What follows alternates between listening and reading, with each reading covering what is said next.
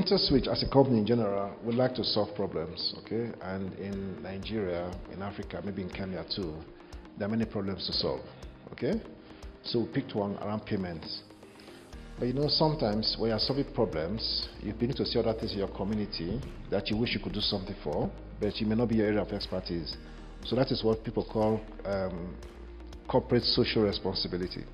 So as we began to be successful, we started asking ourselves, what can we do to give back to society?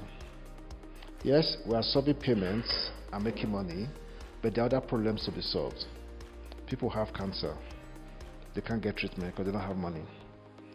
People cannot go to school, although they're intelligent, because their parents do not have the money. Okay? And so on and so forth.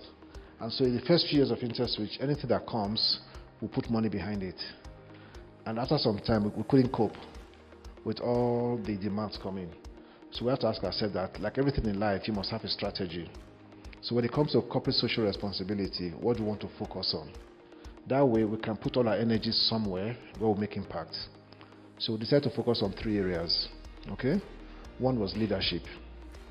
Okay, we thought one of the problems we face in Africa is about good leadership. Okay, so we want to do something around leadership, helping young people youths and so on and so forth understand what leadership is all about and challenging them to become good leaders. And that is why you notice that in my presentation I delved into leadership in a way because it's passionate for us. Another thing we are passionate about is entrepreneurship. Okay, how to help people who have good ideas, support them so that they can grow their own businesses too